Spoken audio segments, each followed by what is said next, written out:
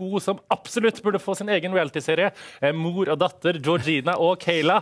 Hold dere fast! Hi, I'm Kayla. Hi, I'm Kayla's mum, Georgina. And we love having plastic Surgery surgery together. together. so when I was 17, uh, I started stripping then. And then three or four months into that, I met a sugar daddy. And he gave me a certain amount each week. And then gave me a bit more when I got my boobs done. And yeah, and then I started paying for us to have our lips in together. And yeah, I'm really lucky to have a daughter like Kayla that spoils me and gives me um, and pays for my surgery and stuff. I'm just living the dream.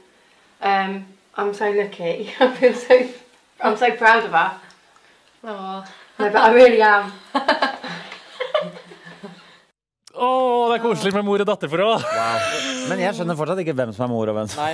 Eh, hun mørke, som var litt sånn mørkere i hodtun. Hun med minst eh, lepper. Hun mest oransje. Ja, hun, kanskje, hun mest oransje var dattera.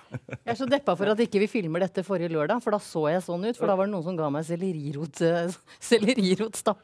Så da gikk jeg rundt sånn og tenkte fy søren, når dette hevelsen går ned, så skal jeg gjøre det de har gjort. En billig Botox. ja, er eh, Men er det, har dere noen gang hørt noen si setningen 'Jeg syns det er fint med Restylane-lepper'? Nei, det er Har sikkert fordi det ikke noen- henger så mye på østkanten. Der kan jeg se for meg at de syns det er ma- mannlige menn der syns sikkert det er fint. Ja, okay, ja. Så det er de som har skylda for at uh, jenter driter seg ut med det Du bor på Frogner, syns Ja. menn på Frogner at Restylane-lepper jeg pleier er ikke å spørre de. Har du ikke spørreundersøkelse på det? Nei, men jeg kan godt gjøre det til en eventuelt neste runde jeg kommer hit. Gjør det. Ja. Men siden vi hadde mor og datter på skjermen her nå, Jannicke, Mm. jeg må spørre deg. Hva heter mammaen din? Mamma? Ja.